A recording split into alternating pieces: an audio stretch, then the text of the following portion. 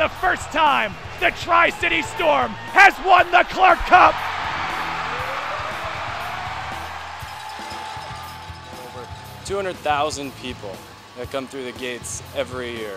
A once in a lifetime kind of an experience. I've never won a championship like that. I've never been a part of a team that's won a championship, so it was something truly special that I will always take with me and remember. Storm hockey team's owner, Kirk Brooks, one of the first things Kirk said after winning our championship was, what a great thing for Kearney, what a great thing for the Tri-Cities.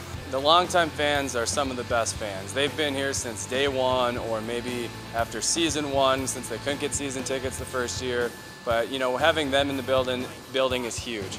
They they kind of rally everyone else who are new season ticket holders, our first time fans, our second time fans to educate them on the game of hockey as well as the excitement that you know a hockey game can bring.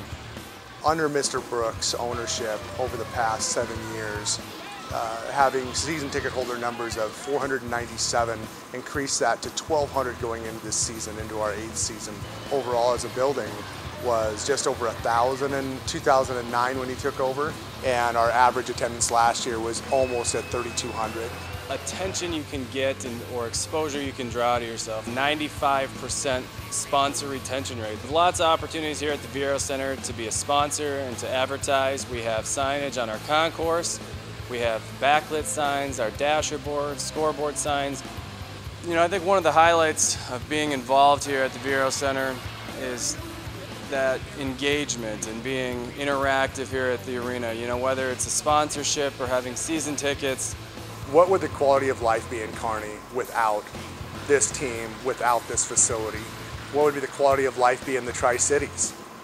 Mr. Brooks has brought to this community, to the Tri-Cities, an organization that allows people to come out and you know cheer on a team, uh, gives them quality entertainment that you're not going to find in central Nebraska anywhere. Now moving forward, you know, we we can continue to grow our, our fan base, continue to grow the sponsorships, the, the excitement, you know, bring back another Clark Cup.